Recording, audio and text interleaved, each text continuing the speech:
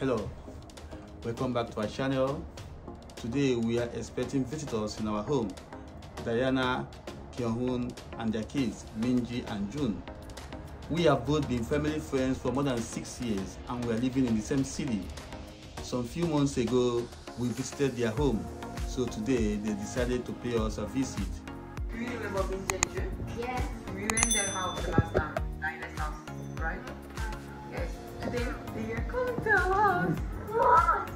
Oh, you want to meet Minji and Yes. Okay, so we can play together today. Okay? Okay. Yeah, yeah,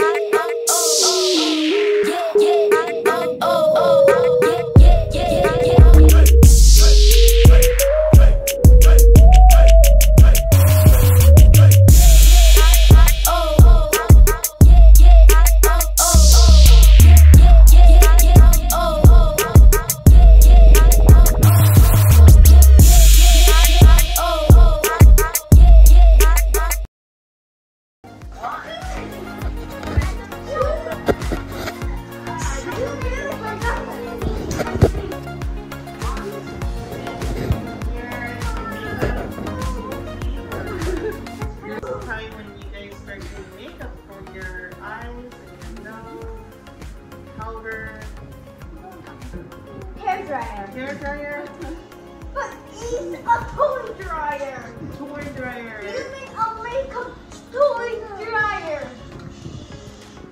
I can dry my hair. Uh, looks like really soon forgotten. Do you remember Jin? Yes.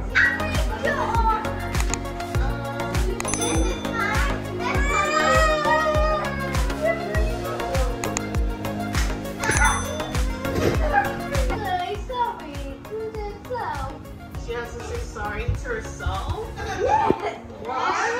What? Wow. No. Wow. Very nice. This place where I'm living, there's no foreigner living here. Uh, your neighborhood. My kids don't have any foreign friends, nobody. So the only place where they go out and see foreigners is like if I take them out of this city, like go to Ansan, Joan or Songtan, where they see my foreign friends and that when they can go to the kids and like So what they do here, everything about here is Korean. So the only time they have for English is here at home. So you can imagine uh, in, in, in, uh, from morning from 9 to 6 in the evening when they go to school, all, all they do or what they speak is Korean, Korean, Korean, Korean. And that is, let me say, about 8 to 9 hours every day. And they only have like less than 5 hours at home before they go to bed. It's interact with me and mom. And so you can imagine if you have to do it in percentage, understand? It's that they, they, they they have more time for Korean than for English. And for English, you just have those few hours in a day to speak English. So you think that you speaking speaking English alone with them can make them speak English? You think it's possible? Speaking. Yeah, assuming you are the man, the wife is Korean. Just like me and my wife now, me and, me and her. you understand? My own, my English alone cannot help them. Speaking, speaking Okay, so like in your case, your Yeah, you, case. you speak English to your kids. And then my wife speaks Korean to them. Um, it's helpful always speaking English to your kids, because like that's what I do. I know you, like I said, the kids and their mother are more closer than their father. So children will definitely speak the language their mother speaks more than any other language. What you speak because of I, children. I don't think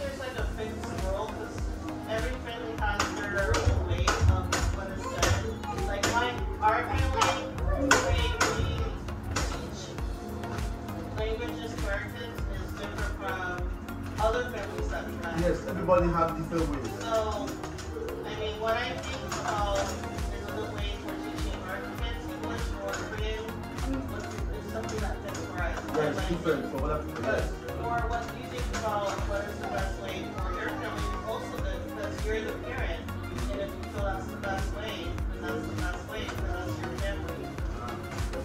important thing is to get the result, get the required result. Go you you are you intend to get this, let them. Yeah. There's so many ways.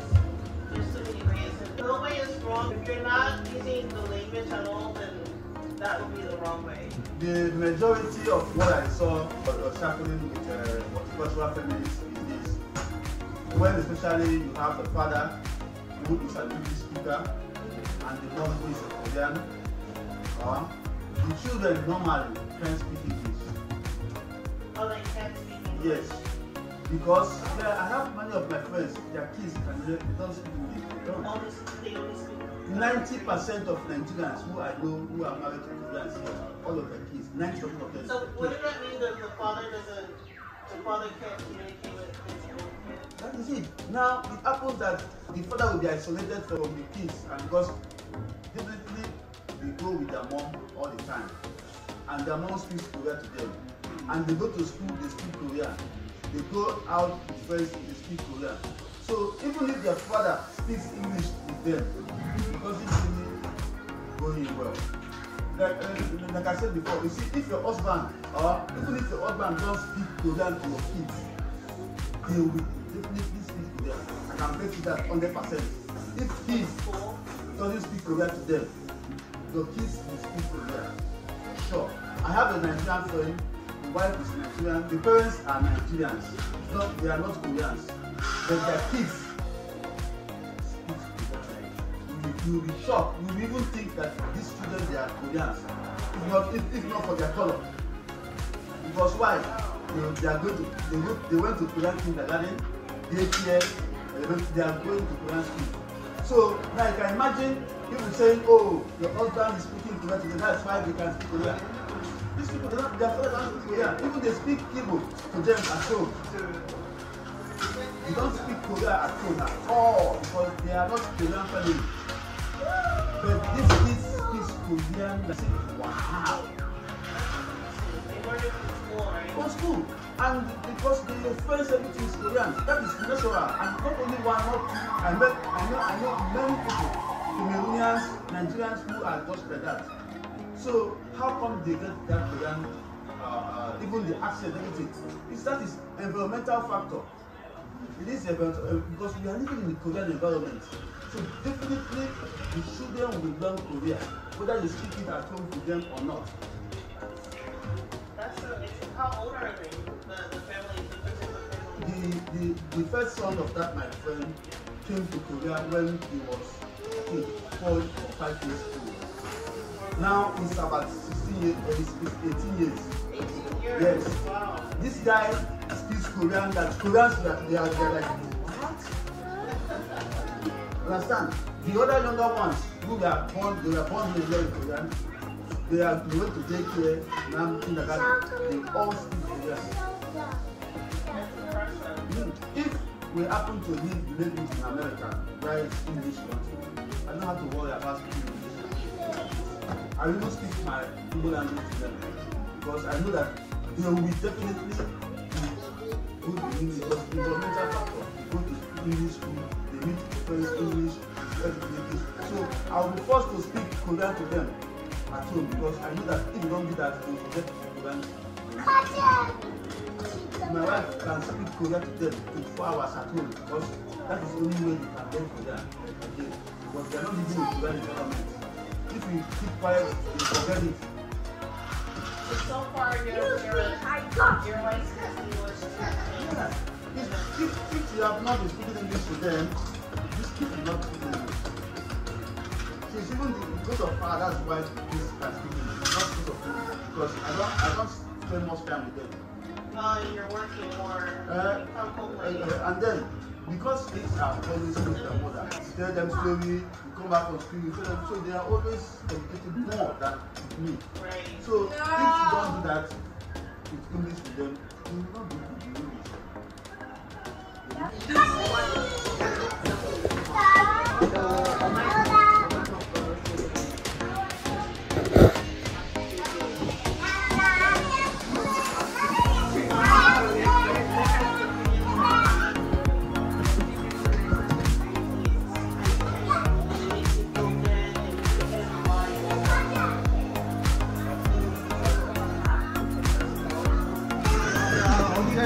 It's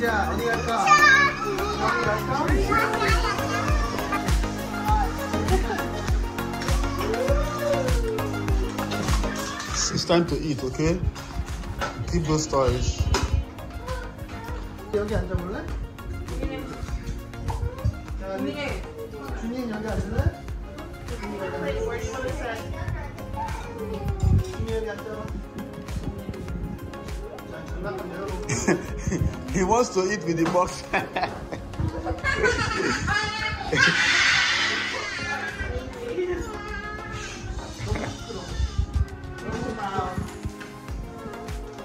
thank you. so much, me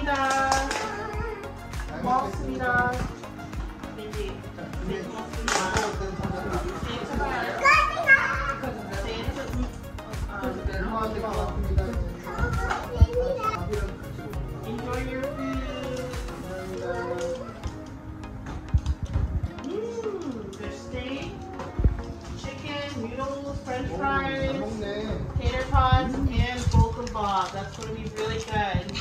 빵도. 하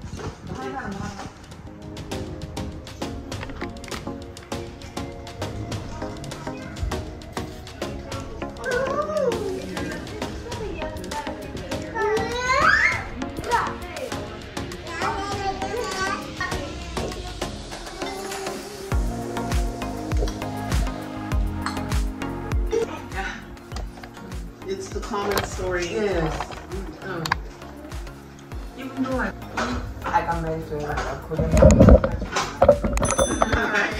Parents are always picky. Yes. Usually one month parent. Ah, Mama's yes. parents. Mama's So it's like depends on your. After eating, you watch the TV, okay? Yeah, I, my, my thing, my secret is there, Kapcha. That's why you know. So I know that. Hello. so what is we're talking about uh, feminists, what they think about uh, the marriage, right? The parents, they, they have a lot of stories to talk they, they, they say about me. Just in order to convince her not If you to. finish coming, So how how did you introduce Peanut to your family? You did like bring him home for dinner. We went there and. Our story was quite totally different. You know what? Remember, remember, they first told you that you don't want to see me, right? And then we went to Nigeria first. We left Korea anyway. We traveled, went to Nigeria, went to Ghana, went to um, uh, we, we, that was when we did our wedding. We wedded before we came back to Korea. Oh, the wedding abroad. Yeah, we wedded in Nigeria before we came back. After we came back, that we went. So you, you guys came back to Korea and you were already married. So like, what was the, the reaction of your parents when you found out that you guys were married already? No, what happened was initially there was no way they, they, they didn't want to even see me.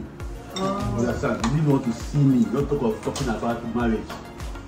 They don't want her to even get close, don't have, have anything to do with me. Understand? Mm-hmm. So I told her, listen, if you continue waiting for your parents to say yes, okay, we might, we might, we might, we might stay here for years, thinking of oh how to please them. We should think of other options.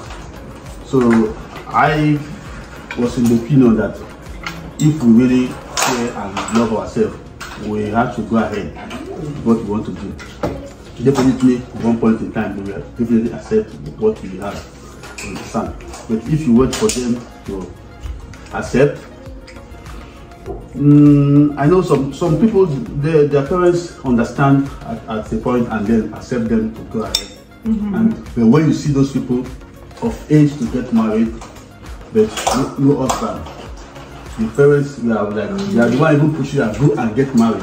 They don't have option. Just go. go. The other situation was that if the if the child is already a burden to them, they will even they don't even have to worry Oh, about they wouldn't They care too much. Go ahead. To mm-hmm. them, they want her to get married by all means. Oh, so whoever you, you come with, they will even be happy. Oh, thank you, no problem. You know, that is two different situations mm-hmm. for getting married. Oh, some parents when they think, oh, you still have, you are still young, you know, they will definitely tell you, why do you, what do you want to do with an African? You know. So in our own case, the parents don't even want to see me. Even when we came back from Nigeria after I married, they didn't know we get married in Nigeria. But when I went there, they saw me. They all quiet. They were like, no, we don't have any problem with you, but what we don't want her to do, we don't want her to get married to a foreigner. Not that, not, not that we hate you or anything, but we don't want her to get married to a foreigner. That is the problem. Mm-hmm. Even though I even asking her how this, what did she see and how is Nigeria? And they was, we were showing them pictures, things we were, Pictures. they were like, wow, this oh Nigeria, wow, that this is not what they think about Nigeria. They thought Nigeria maybe it's what kind of you saw the house and everything, I know. Mom said at the, at, the, at the end of the day, no problem that she doesn't have any issue about it, but she just that they're not in support of her getting mm. married to a foreigner. In between, is, this is that is the problem. So, and then we left. The rest was she and them talking. But but then I think that was when she finally tell them that we're already married. Mm. So and they know that there's nothing. There's nothing Nothing they can they can do. That was, What year did this happen? that was 2012. Oh, 2012. 2012, yeah. That's almost the same time we were 2012. When you visit my parents. when I visited his your parents. How long have you dated before you got married? We didn't date much. We didn't date up to five months or four months. Oh, okay. We didn't date much. So we never, uh, then I used to come to Korea and go. Oh, okay. I visit Korea and go. So even the first time I met, I met her, we just you know for like was it, it up to one month? After I met her one month, I left. I left Korea. I went eh, maybe one month. After one month, I met her. I left. I went to Nigeria. You've been in Korea a long time. No, I wasn't staying in Korea permanently. I was coming in and going for business. Then. Okay. So it was on my business when I went when I was on my uh, business that I met her on the way and then then I was preparing to go back to Nigeria. But I came like two months ago before I met her and I was having was one month left for me to to, to round up and go. So I met her and then from there we discussed and I said okay, I'll, I'll, I'll be coming back for you. So I think I thought she doubted if I if I if I was serious and coming back. So I left and because of her I did whatever I have to do fast to come back to Korea. She was like she's waiting for me. Am I really coming back? So we talk every time on phone, sometimes video call. Oh, this Nigeria, I'll, I'll be back. So she was like pushing me, when are you coming back? Because I spent like three to four months in Nigeria before I came back. Or five months. I spent some, hmm? more than more than five months. So she was keep asking me, is she going to wait? For how long is she going to wait for me to come? I said, don't worry, I'll be, I'll be back. Yeah, because I don't want to wait more. She doesn't want to wait. Just finish it. Mm. Hurry and come back. Yes. Or I don't waste time. well, if I need to wait for you more, then it's just finish the relationship. So She's like, hurry You up. know, before all him up, you better come back. You better just, I said, don't worry, I'll come in. So I did everything I was have to do, did some of them, and then I came back. And I told her if I come back, I'll take you, go back to Nigeria. And I came back. Two months after I came back, we left. Oh, okay. So Three months. three months. I don't think we spent. I think it was up to three months before. November, so we left it Mhm. So all our dating was just between the first two, the first one month I met her, and the first month I spent in Nigeria, and then I came back three months later. We went to Nigeria. We- We first landed in, in Ghana. Ghana. We went to Ghana.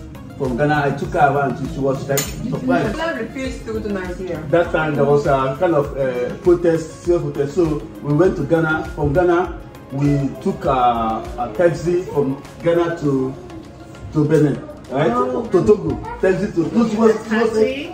taxi, yeah, taxi, taxi. Yeah. She was like, We- So you can move from one country to another, not from border. So you know, she was seeing kind of you know, you know, in Africa, West Africa, we have common boundaries.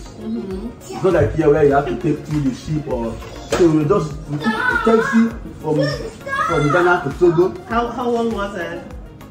It was not long, it was, it was, was just maybe it took up to two hours. Mm-hmm. Not, it just, just, just depends. You pass, you see the immigration, the custom immigration uh, at the uh, gate. You, you, you stand because we, we spent two days in Ghana, right? One day. One day in Ghana, then the next day we moved to Togo. We spent another one day in Togo. Then the With your next day, suitcases and Mm. everything. then the next day again, we moved from Togo to then to ABC. We took ABC bus yeah, and moved to, to Nigeria. We took a bus. That's a lot of work. We took a bus. We took a bus from from Togo to Nigeria.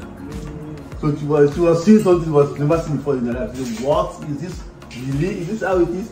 So So in, in total, it was two days, maybe two days of traveling, two or three days.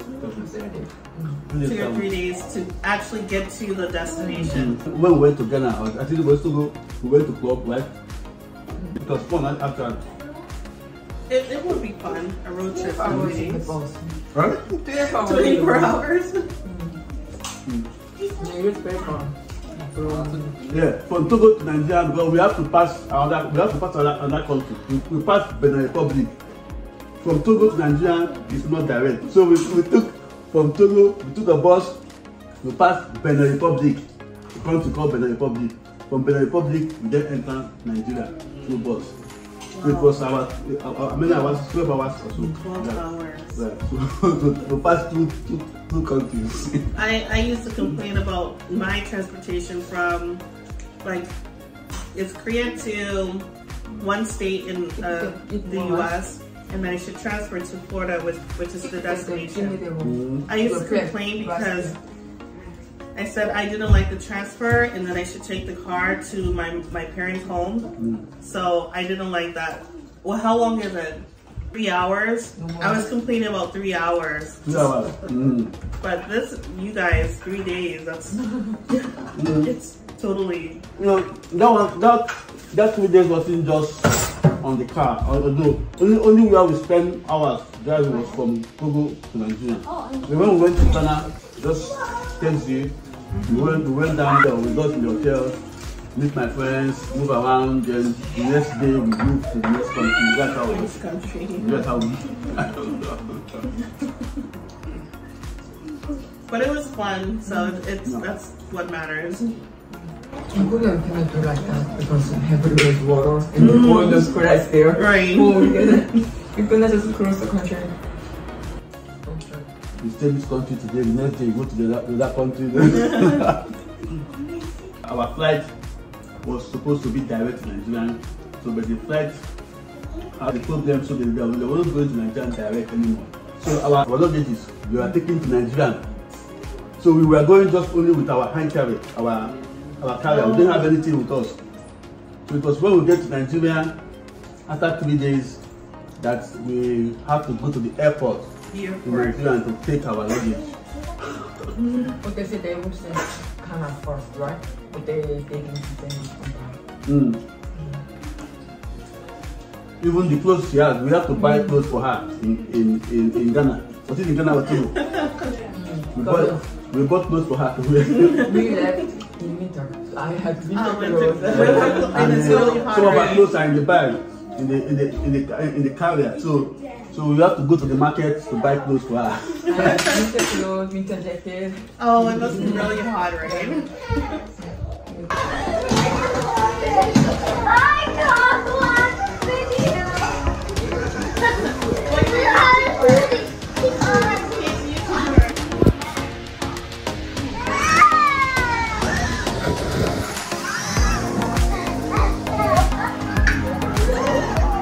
Oh, good. Bye bye. Bye bye. we are going to see again, okay? Yeah, we are going to see again. Bye bye, Umi. Bye bye, Umi. Bye bye. You look very happy.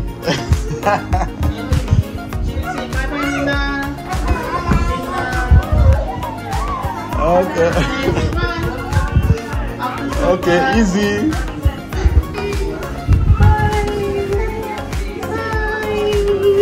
See